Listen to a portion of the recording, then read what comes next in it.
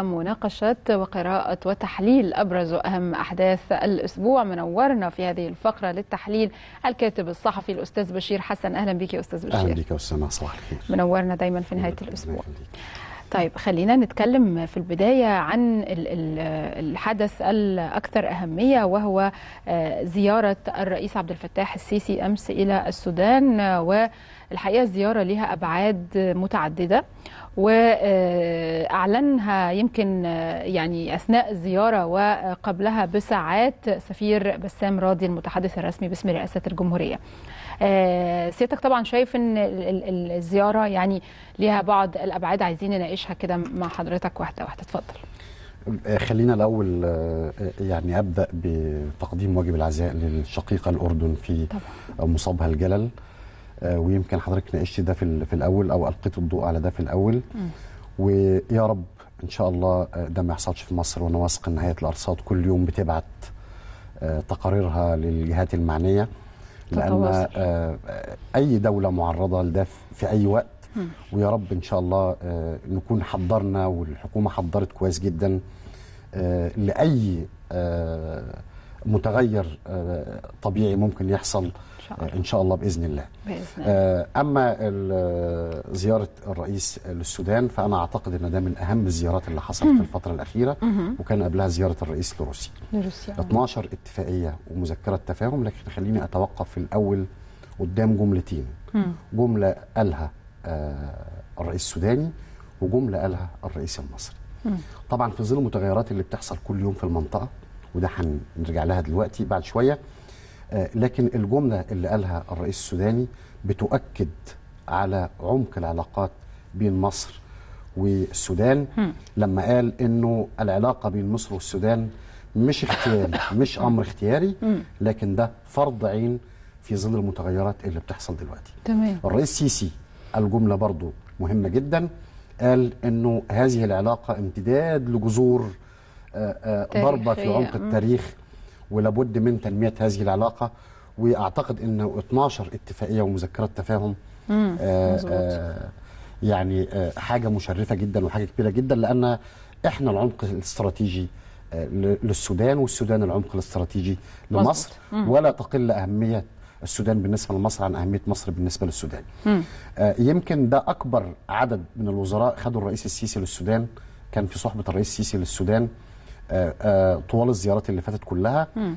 آه، مذكرات تفاهم طالت حاجات فيها. كتير مم. جدا خاصة بالزراعة وخاصة بالصحة وخاصة سكك بال- الحديد. آه وخاصة بالسكه الحديد. يمكن ده آه، من من أهم المشروعات آه، بالنسبة لي أنا خط السكه الحديد والربط الكهربائي. آه.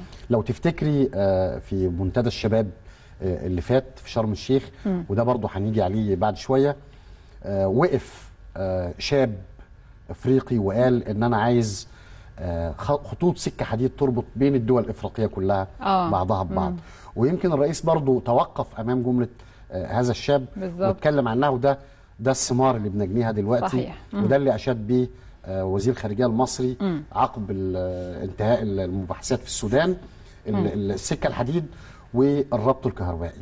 كمان الصادرات السودان فتحت أبوابها لكل الصادرات المصرية وده يمكن برضو من أهم الإنجازات مم. لكن الإنجاز الأكبر مم. بالنسبة لي هم مذكرات التفاهم اللي حصلت 12 مذكرة تفاهم وطبعا ده تم الإعداد له اللجان المشتركة بتعمل من ست شهور سبقت هذه. الزيارة مم. يمكن آه، ده ال- ال- الزيارة أو اللقاء رقم 10 بين الرئيس السيسي والرئيس السوداني آه، بدأت من 2015 لما راح الرئيس السيسي يحضر الحوار الوطني اللي كان معمول في السودان عشان المصالحة وده وأعقبها زيارة في أكتوبر 2015 برضه للرئيس بالظبط. السوداني هنا لما خد آه، آه، تم تكريمه هنا لمشاركته في حرب أكتوبر وفي حرب الاستنزاف هذه تمام. الزيارات وهذا ال ال ال ال التحرك السريع من القيادة المصرية تجاه إفريقيا كنا أهملناه طوال السنوات اللي فاتت آه. وأعتقد إن الرئيس دلوقتي